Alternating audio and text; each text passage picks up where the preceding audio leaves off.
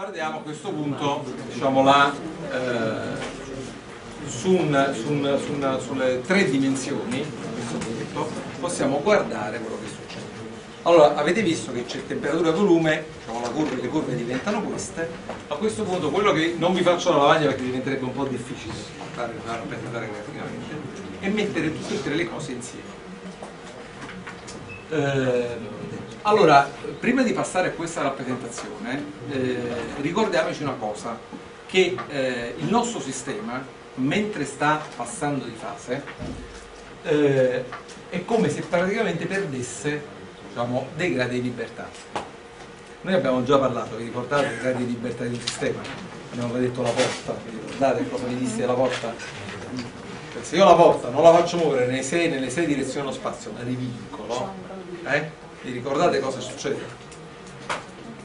Eh? Diminuisco i gradi. In particolare dei 6 gradi di libertà che avevo inizialmente la porta, quanti ce ne sono soltanto? Ne soltanto Perché? Perché ho vincolato con delle cerniere e poi. Quindi non posso più aprire la porta in questo modo, giusto? Né posso aprire la porta dire, alzandola sopra, perché, oppure abbassandola giù. Quindi le cerniere mi vincolano diciamo, da questo punto di vista negli spostamenti. L'unico spostamento che posso fare è questo. Bene, lo stesso diciamo, accade nei passaggi di fase quando, diciamo, nel, nelle, scusate, nelle trasformazioni termodinamiche quando c'è un passaggio di fase. Cosa mi dice la regola delle fasi che voi avete già fatto in chimica? Ve la ricordate? Mi dà appunto il numero di gradi di libertà del nostro sistema. E che cosa vi dice? Ricordate, in chimica l'avete fatta con più componenti, non con solo componente. Qui noi lo vedremo con la sostanza pura, quindi sarà più facile. Va bene? Facevate il numero diciamo, di componenti più 1 meno il numero delle fasi, giusto? Eh? Pardon, più 2, il numero di componenti più 2 meno il numero delle fasi e ottenevate diciamo, il numero dei gradi di libertà. Prego di Gibbs, giusto? Cosa facciamo qua? Il numero di componenti sostanzialmente è 1, sostanza pura, quindi in questo caso noi abbiamo 3 meno f che rappresenta il nostro numero di probabilità. Giusto? C'è una, un errore, se il numero di fasi è 1, come nel caso normale, come nel caso in cui diciamo di partenza, che cosa abbiamo? Il numero delle fasi, una sola fase, sola riforma. Quanti gradi di libertà ho? Due. Quindi posso scegliere liberamente la coppia pressione-temperatura e stare diciamo, all'interno, diciamo, identificare il mio sistema. Quando io ho due fasi e le voglio mantenere, attenzione, non posso più cambiare pressione e temperatura come voglio io. Il numero di gradi di libertà è come se fosse ridotto. Cioè, quello che vi ho detto prima, che cosa succede? In cui, diciamo, ricordate nel passaggio di fase che vi ho detto, attenzione, fissata la pressione avete fissato pure la temperatura. Cioè, ho come se avessi vincolato le due grandezze tra di loro. E quindi è un unico grado di libertà che ho. Vi trovate? E quindi, in quel caso, due fasi diventa 3 meno 2, quindi ho un unico grado di libertà. O fisso la pressione e la temperatura è una conseguenza, o fisso la temperatura, ma non posso cambiarle come voglio. Fissate la pressione o la temperatura o fissate la temperatura o la pressione. Chiaro? Quindi in passaggio di fase, attenzione, non posso, diciamo, ho un, una, un unico grado di libertà, in passaggio di fase il liquido vapore. Lo stesso vale nel passaggio di fase solido liquido. Va bene? C'è un punto in cui ce l'ho tutti e tre. Punto triplo. Vi ricordate il punto triplo? Andiamolo a vedere. Sto qua, per avere la consistenza delle tre fasi non posso né cambiare la pressione né cambiare la temperatura, è solo quella, è un unico punto. Cioè ho 0 gradi di libertà. A seconda delle condizioni il sistema si dice bivariante, 2 gradi di libertà, monovariante, un solo grado di libertà, passaggio di fase di liquido vapore, vapore, diciamo varie forme, invariante, punto triplo. Ho tutte le fasi bloccate, tutte le fasi e diciamo, non posso, non ho più nessun grado di libertà. Va bene? Quindi anche su questi piani potete notare quali sono i gradi di libertà e quindi capire subito, dire un attimo, pressione e temperatura non li posso scegliere come voglio io. Fissato uno, fissato anche l'altro. Chiaro? detto questo ritorniamo al nostro, riosserviamo il nostro problema, riosserviamolo a questo punto su tre piani. Allora lì io, io vi avevo fatto, che cosa vi ho fatto? Vi ho rappresentato sullo stesso piano non solo due proprietà, ma ve ne ho rappresentate tre. Cioè vi ho fatto delle curve parametriche. Sul piano TV vi ho, vi ho fatto una pressione. Poi invece di mettervi una terza coordinata di pressione, come normalmente faccio in coordinate cartesiane, faccio z, x, y e vi metto le tre coordinate, la terza coordinata l'ho fatta parametrica lì. Quindi abbiamo fatto le curve isobare sempre sullo stesso piano se invece volessimo seguire le tre coordinate non facendo sullo stesso piano anche la curva con una pressione differente, ma facendo tanti strati quante sono le pressioni, che cosa sarebbe successo? Sarebbe successo quello che vediamo qua, vedete? La prima, quindi allora a pressione costante ho costruito la prima curva, va bene? Prima fetta, seconda fetta, terza fetta e così via. Vedete? Man mano che salgo vedete questo plafond che io avevo fatto che, che diventava sempre più piccolo vedete come si è ridotto? ovviamente la pressione sta salendo se io adesso prendo tutti questi punti e li congiungo i passaggi di fase e li congiungo tra di loro così come ho fatto, avevo fatto su quel piano però a questo punto nello spazio in 3D che cosa succede? avrò non delle curve caratteristiche ma ho delle superfici caratteristiche. Che cosa sono queste superfici caratteristiche? È un canyon, no? È un canyon. Questo canyon ha, che cosa c'ha qua? Su questo punto, su questa parete scoscesa, che cosa c'ho? Perché è scoscesa? È perché il volume è rimasto, il volume specifico resta praticamente quasi costante. Quindi è un precipizio. Va bene? Quindi all'aumentare la pressione il volume più o meno è sempre lo stesso. Vedete questa parete come è scoscesa? Bene, su questa parete che cosa ho? Soltanto solido, bravissimo. Su questa parete scoscesa qui, che cosa ho soltanto? Solido. Qui cosa ho?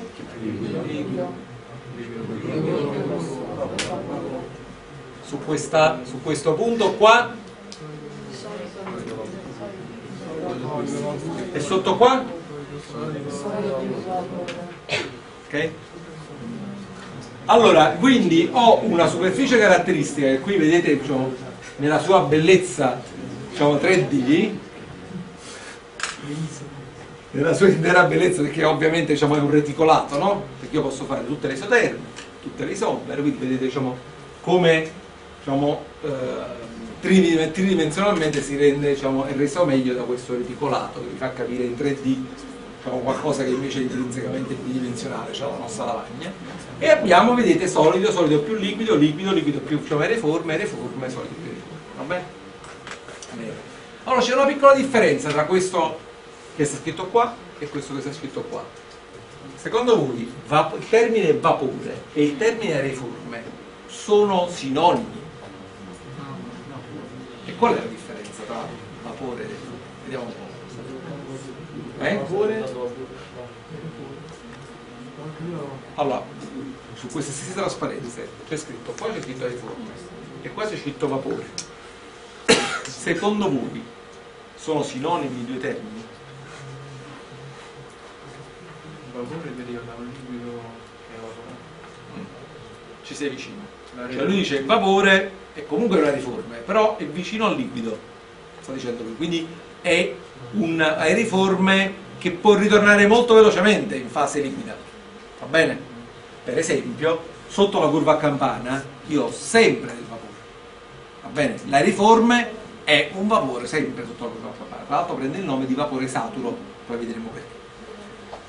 Eh, nelle, diciamo, invece, quando appena esco dalla curva a campana sono sempre vicino, però è solo vapore. Però diciamo, il vapore è un po' riscaldato, cioè l'ho surriscaldato, infatti prende il nome di vapore surriscaldato.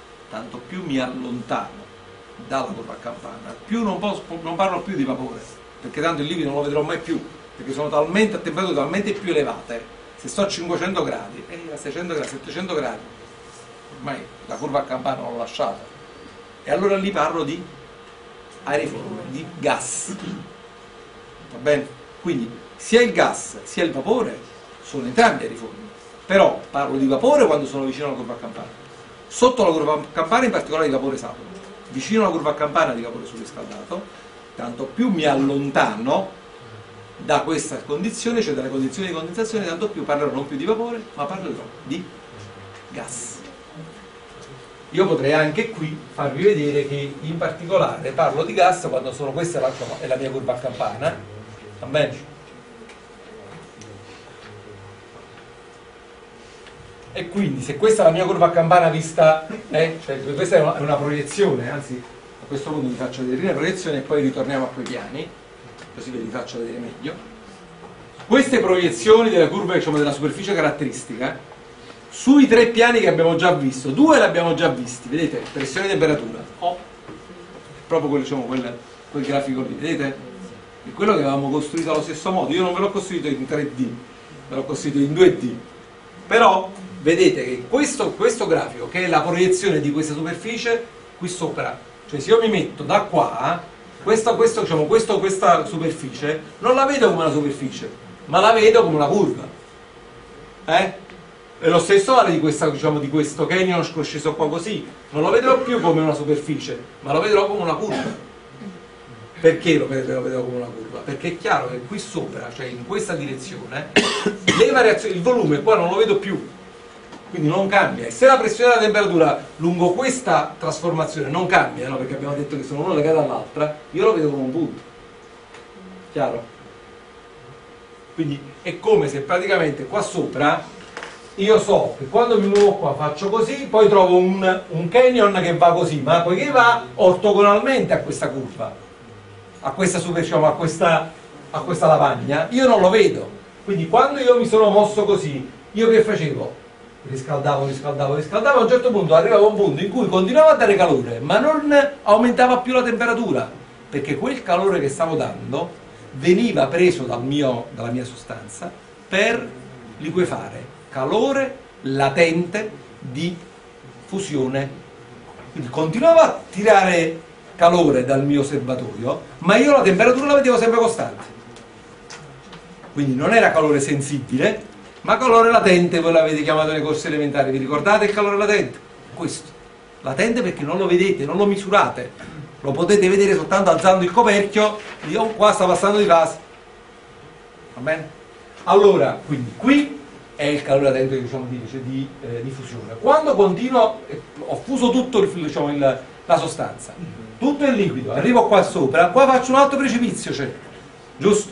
Secondo precipizio, quindi lo vedo in questa, in questa direzione e ovviamente in 3D lo vedo benissimo perché vedo le superfici chiaro? allora quindi se andate a vedere questo la proiezione a questo punto qui e diventa chiarissimo queste due curve questo punto come si chiama?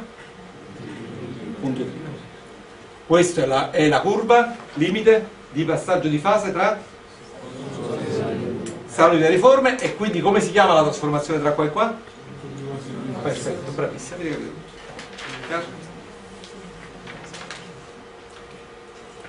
Allora adesso possiamo fare tutti i giochetti del mondo, potete passare da solido a liquido, a liquido a vapore, da vapore a liquido, quindi tutte le trasformazioni termodinamiche da qua a qua.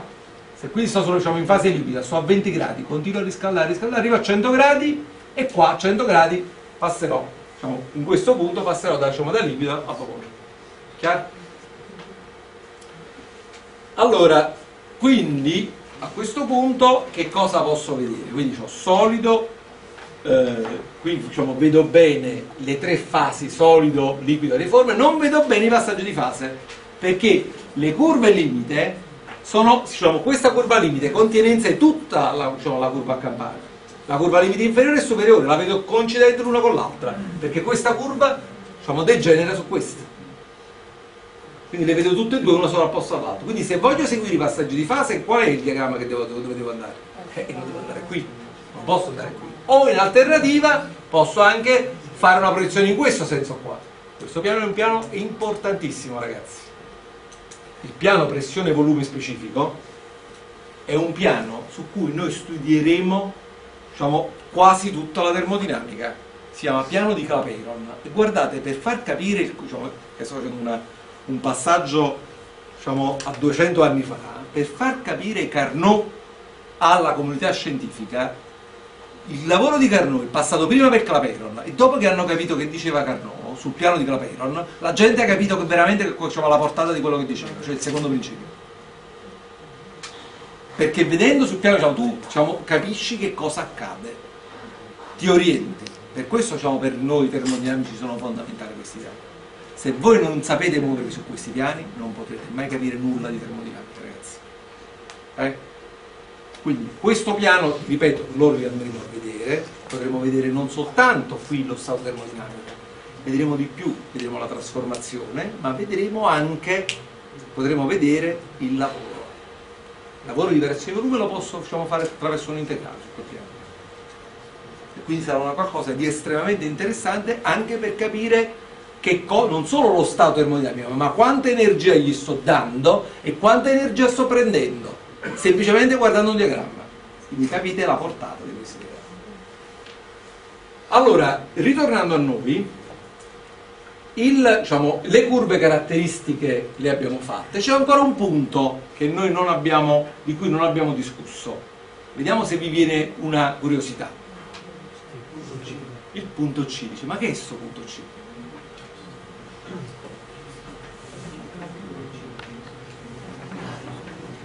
Cosa accade al di sopra del punto C? Allora, il punto C si chiama C perché si chiama punto critico, va bene? Allora, che cos'è questo punto critico? Domanda. Vediamo se qualcuno sa interpretarmi questo punto C. Cioè, al di sopra del punto C, che cosa accade ragazzi? Se io sto al di sopra, dov'è il solido, dov'è il liquido e dov'è la riforma? Dov'è c'è il passaggio di fase? Dove sta il passaggio di fase? Quando io sto qua sopra, passo dal liquido e passo alle riforme, ma il passaggio di fase dove avviene? Qua, qua, qua, qua, dove? Dove sta il passaggio di fase? Allora, ragioniamo di nuovo su questo diagramma.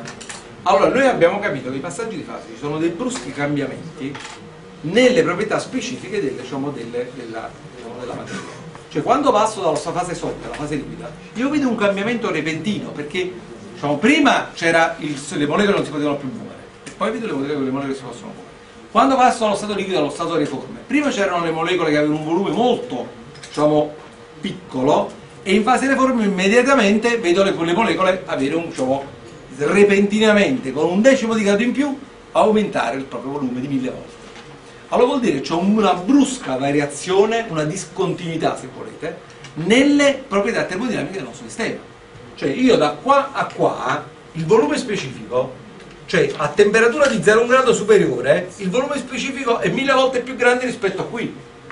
Cioè ho cambiato un decimo di grado la mia, la mia temperatura del mio sistema ed è cambiata di mille volte il volume. Allora dite ho una brusca variazione delle proprietà termodinamiche va bene? bene cosa vuol dire questo? vuol dire che quando io man mano che mi avvicino al punto critico quindi man mano che mi avvicino su questa discontinuità, questa variazione delle proprietà termodinamiche tra la curva limite inferiore e la curva limite superiore diventa sempre più piccolo, sempre più piccolo, sempre più piccolo, finché nel punto C io non avrò più nessuna variazione brusca.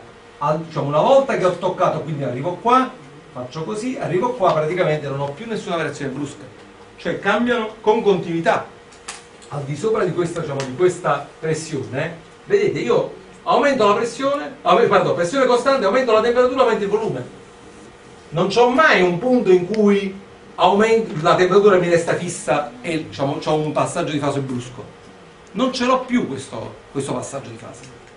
Per cui le proprietà diciamo, al di sopra di quel punto, al di sopra di quella pressione critica, quando io andrò a riscaldare vedrò che le proprietà cambiano con continuità, non c'è un passaggio di fase, non c'è una fase A e una fase B, ho un, una variazione progressiva delle proprietà terminali, quindi del volume specifico, dell'entalpia, dell'entropia, non c'ho più dei passaggi, diciamo, dei, delle brusche variazioni, va bene? Quindi ho qua sopra qualcosa che non assomiglia né a un liquido né a una riforma, ma è un tutt'uno perché il liquido e la riforma non c'è un punto preciso in cui dice qua il liquido e qua è riforma è un fluido che cambia la, le sue proprietà continuativamente, per cui non c'è un, un, punto in cui rassomiglia più al liquido e un punto in cui rassomiglia più al solido. Non lo posso dire. Al di sopra di questa pressione è, diciamo, più o meno è molto vicino alla, alla, alla, alla riforma, è molto vicino al liquido, ma non c'è un brusco passaggio di fase, non c'è una superficie diciamo, di separazione netta. Chiaro? Perché non c'ho più questo passaggio di questa discontinuità. Va bene? Perché che cosa succede qui? Che il volume specifico diventa del liquido diventa molto prossimo al volume specifico del vapore. Perché?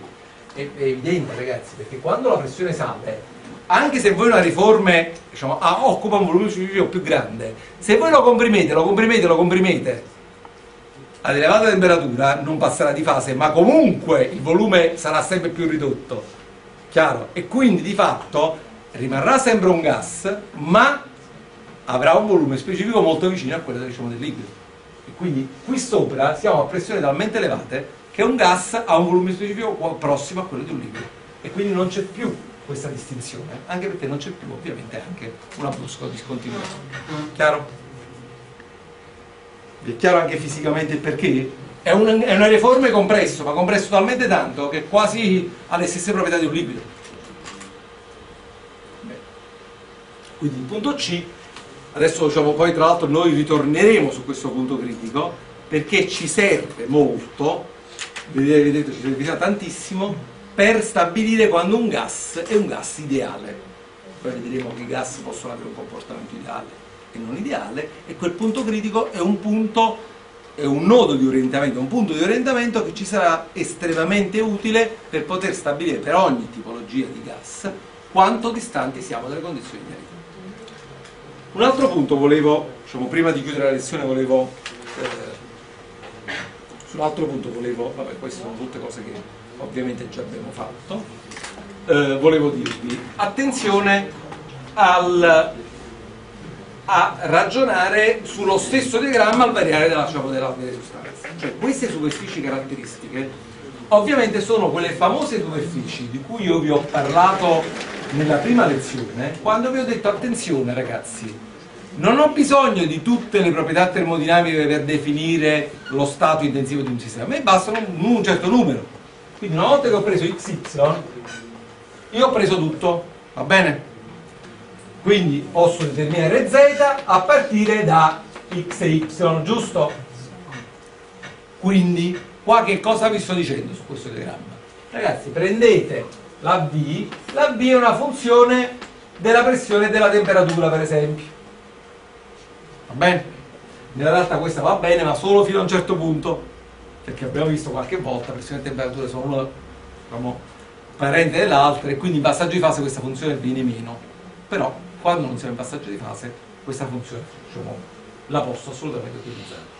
Allora che cosa vuol dire questo ragazzi? vuol dire che se io diciamo, ho una funzione se avessi un'unica funzione per tutti diciamo, per tutte le sostanze io avrei fatto bingo va bene, vabbè, c'è un unico diagramma, questo è il diagramma, signori, ci vediamo all'esame. E invece dobbiamo studiare un po' di tempo perché non è un unico diagramma, sono tanti diagrammi in funzione ovviamente dei tipi di sostanze. Però attenzione, è vero che sono tanti, ma questo, questi profili sono praticamente gli stessi o quasi gli stessi al variare del tipo di sostanza. Cioè questo punto ce l'hanno più, più in basso o più in alto, questo superficie sarà un po' più stretta o un po' più larga va bene? E cioè, è evidente, no? Cioè, se io prendo il punto di ebollizione alla pressione atmosferica, diciamo il punto di eh, passaggio di fase alla pressione atmosferica dell'alcol invece dell'acqua, avrò una, cioè, una, temperatura differente, va bene? O lo stesso diciamo, degli oli, piuttosto che qualunque altra sostanza.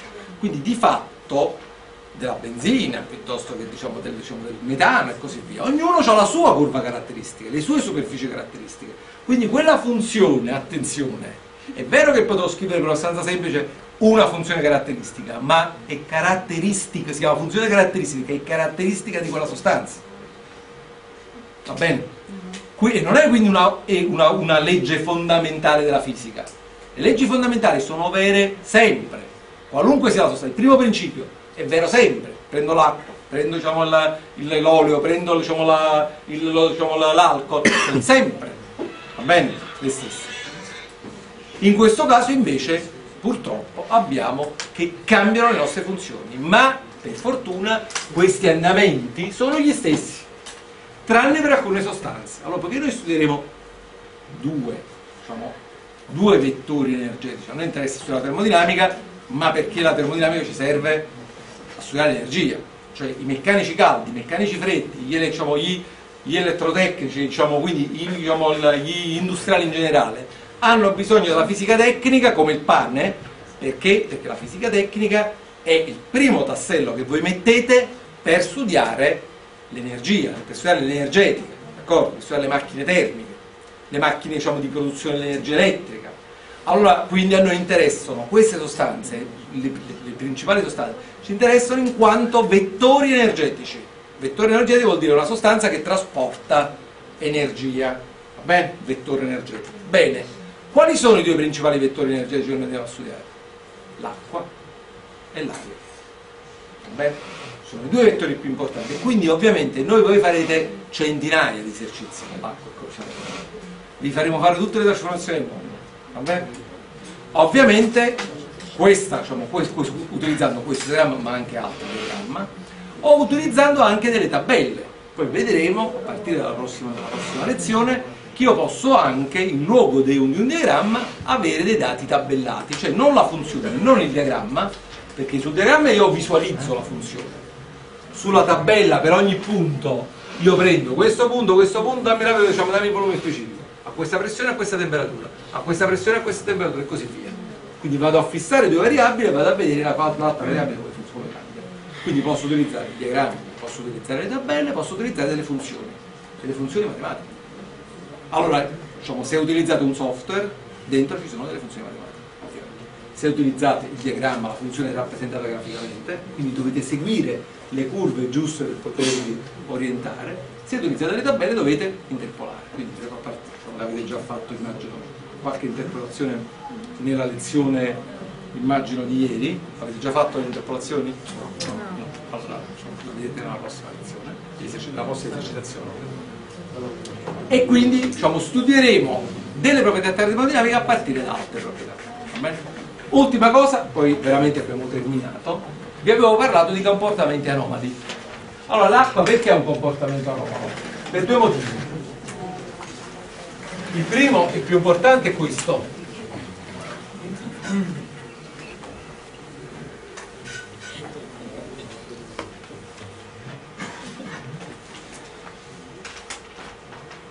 Questo è il diagramma pressione e temperatura per l'acqua, invece di questa, questa curva, invece di andarsene così, se ne va dall'altro lato, va bene?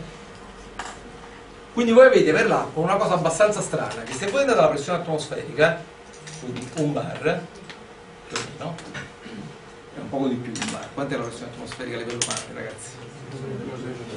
Quanto? Quant'è?